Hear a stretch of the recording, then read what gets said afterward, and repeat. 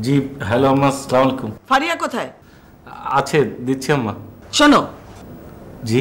যে চ্যালেঞ্জটা তুমি আমাকে করলা এর পরিণতি কি তুমি জানো? জি আম্মা আমি আসলে আমি তো স্টুপিড কাল বারোটার মধ্যে যদি ফারিয়া ঢাকায় ব্যাক না করে তাহলে কিন্তু আমি তোমাকে আসলে আম্মা আমার তো অফিস আর তাছাড়া কিসের অফিস তোমার হ্যাঁ? কত টাকা বেতন পাও শুনি? তোমার সাথে কার অনেকেই তো গাড়ি বাড়ি করে অস্থির করে ফেলেছে। আর তুমি? কাল বারোটার মধ্যে ফারিয়া ঢাকায় ব্যাক করবে। This is my warder okay আচ্ছা দেখি। আরে কথার মধ্যে ফোন কেটে দিল? কত বড় সাহস। বেয়াদব কথাকার। স্যার আমি একটু বাইরেতে আই। রাইতে আলো লাগবো স্যার? ফাঁক শাক মার্শাল্লাহ ভাবি সাহেব ধরে আছে আচ্ছা ঠিক আছে। তোমার তাহলে আর আসতে হবে না। তুমি যাও আসসালামু আলাইকুম।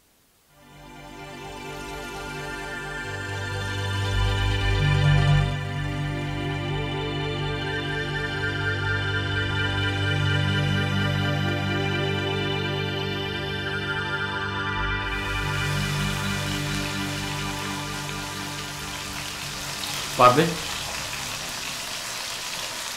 না পারার কি আছে আমার সংসারে এসে তুমি কিছুই পেলে না।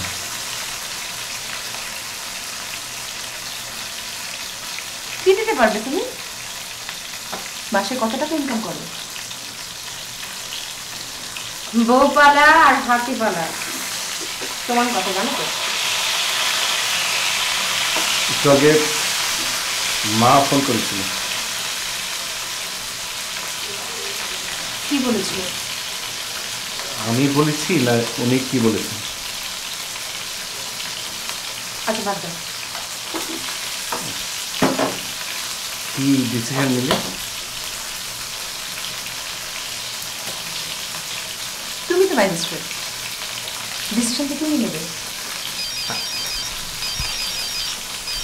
আমার বস ফোন করেছে হ্যাঁ?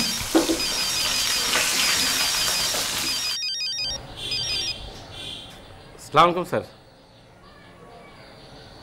স্যার। স্যার।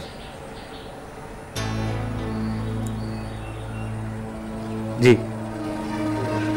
আসসালাম, স্যার